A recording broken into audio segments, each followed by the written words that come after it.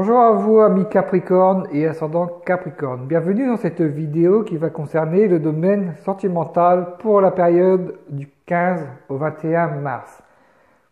Si, euh, si à la fin de la vidéo le tirage vous aura parlé et que vous souhaitez des précisions, que ce soit par rapport à ce tirage, parce, parce que des, des éléments eh bien, auront réveillé en vous certaines choses et que vous souhaitez en savoir davantage. Ou alors tout simplement des réponses, que ce soit dans le domaine sentimental ou un autre domaine.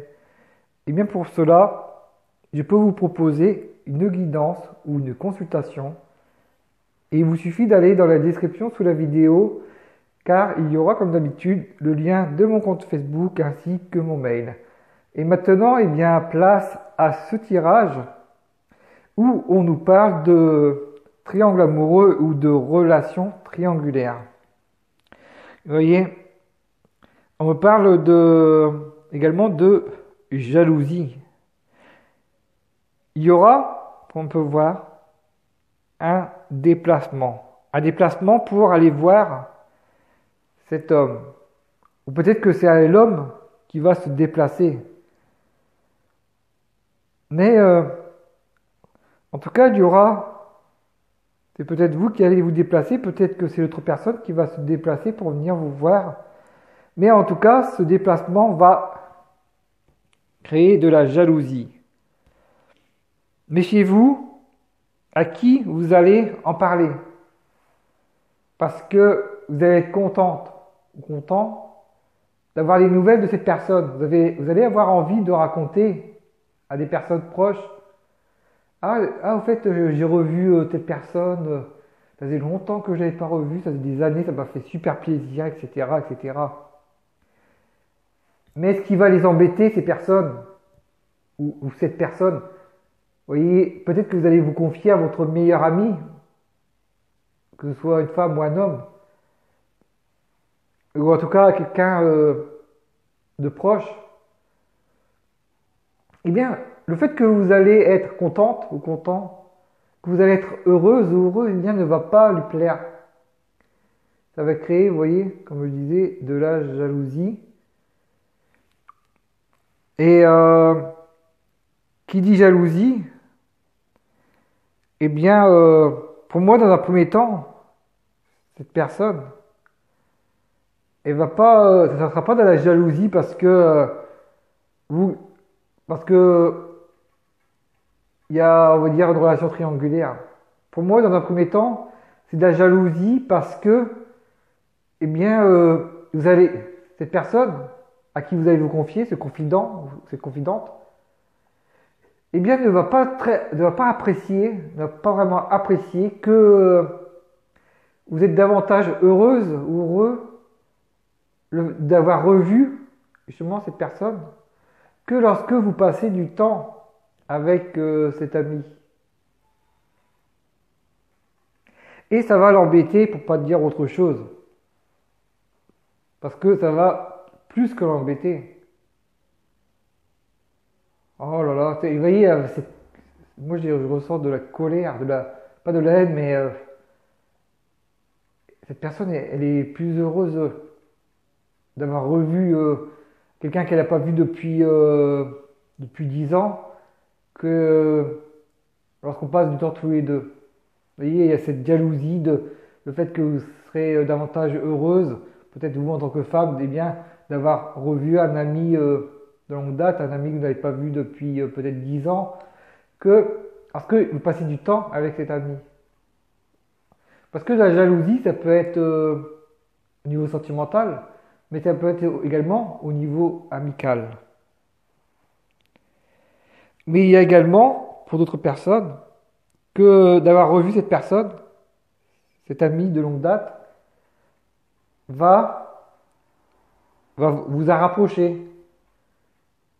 Que entre vous, eh bien, euh, vous allez, euh, vous allez aller plus loin que cette amitié. C'est-à-dire que par le passé, eh bien, cette personne est, était un ami ou une amie Et euh, lorsque vous allez euh, la revoir ou le revoir, eh bien, vous allez vous rendre compte que ce n'est pas uniquement qu'un ami.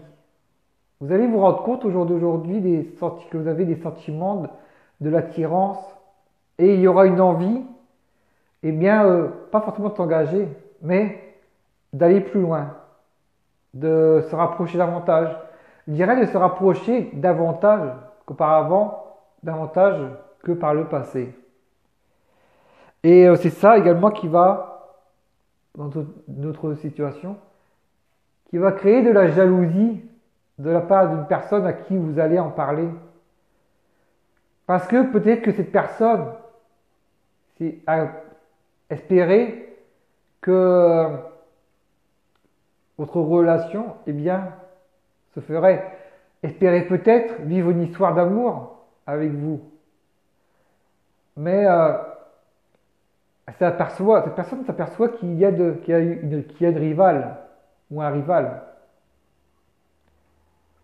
Et peut-être que cette personne va tout faire de façon positive ou de façon négative, ou les deux, pour gagner. On va dire pour gagner la course. Pour vous avoir, vous voyez, comme si que vous étiez un peu atropé. Comme si que c'est euh, que le meilleur gagne ou que la meilleure gagne. Alors que, comme vous dites, vous n'êtes pas un trophée, que vous soyez un homme ou une femme, eh bien, vous n'êtes pas un trophée. Mais en tout cas, il y aura. Euh, ah, je dirais qu'à un moment donné, eh bien, ça va même vous saouler, vous, qu'il y a cette jalousie. Parce que pour vous, il n'y a, cette jalousie, il n'y a pas lieu d'être. Pourquoi? Parce que vous n'êtes pas euh, engagé, vous voyez, avec cette personne qui est jalouse. Peut-être qu'il s'est passé des choses, mais euh, vous allez, pour moi, vous allez lui faire comprendre. Euh, il me semble qu'on a été, j'étais, qu'on a été clair dès le début que tu voulais pas t'engager. Moi, moi, je voulais pas j'étais pas prêt. Moi, pour le moment, étant donné qu'il faut prendre son temps pour s'engager, eh bien, tu m'avais, tu t'avais proposé qu'on ait une relation charnelle, une relation, des relations intimes, sans, euh, sans qu'on s'engage. Et euh, cette personne, finalement, va se rendre compte que cet engagement, enfin cet euh, non-engagement voulu avec vous, eh bien, va se retourner contre elle. Parce qu'au final, elle va se rendre compte qu'au contraire, contrairement à ce qu'elle pensait, elle qui pensait ne pas vouloir s'engager avec vous, qu'elle voulait uniquement passer du bon temps, eh bien, elle va se rendre compte que, qu'elle a des sentiments. Et euh, ce qui va déclencher les sentiments, ça va être cette rivalité, ça va être que vous, eh bien, vous fréquentez une autre personne. Vous voyez, cette personne euh, que vous allez revoir. Et à un moment donné, il, vous faudra, eh bien, faire un choix. Parce que autant vous appréciez l'un, autant vous appréciez l'autre, mais de, façon différente. Vous voyez, de deux façons différentes, mais euh, non seulement vous ne pouvez pas choisir les deux, mais vous ne pouvez pas en choisir aucun.